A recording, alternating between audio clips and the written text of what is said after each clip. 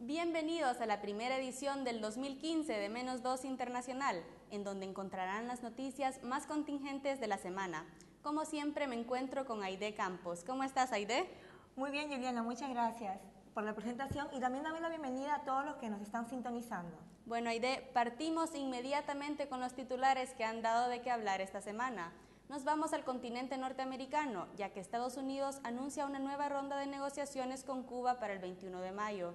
Será la cuarta vez que se reúnen para tratar el restablecimiento de relaciones diplomáticas entre ambos países y la reapertura de embajadas en Washington y La Habana. Así es, Juliana. Y ahora nos trasladamos a Asia porque el Estado Islámico amenaza con arrasar los tesoros arqueológicos de Palmira, que es patrimonio de la humanidad desde 1980 por la UNESCO. Este enclave histórico, ubicado en Siria, está amenazado por la llegada del Estado Islámico, que ya ha destruido joyas arqueológicas irrecuperables. Ahora nos vamos a Nepal, en donde los locales viven temor a que se caigan sus casas tras el último terremoto de 7,3 grados. Recordemos que Nepal ya sufrió un terremoto de similar magnitud hace un par de semanas que dejó más de 3.000 muertos. Después de esta lamentable noticia, nos trasladamos hacia Israel, en donde el Parlamento votará este miércoles una legislación que permitirá la designación de un número ilimitado de carteras ministeriales y en caso de aprobarse, esta abrirá la puerta a Benjamín Netanyahu a presentar su nuevo gobierno. Ahora nos dirigimos al sur de Pakistán, en donde al menos 41 personas han muerto. Varios motociclistas tirotearon un autobús en el que viajaban miembros de la minoría chi en la ciudad de Karachi. Se cree que se trata de un ataque entre sectas. Ahora vamos a Sudamérica, ya que en Argentina las autoridades no investigarán las acusaciones de Nisman donde acusó a la jefa del Estado, Cristina Fernández de Kirchner, de organizar un plan criminal de encubrimiento contra los presuntos autores del atentado a la mutual judía AMIA, sobre lo que pesan alertas rojas de Interpol.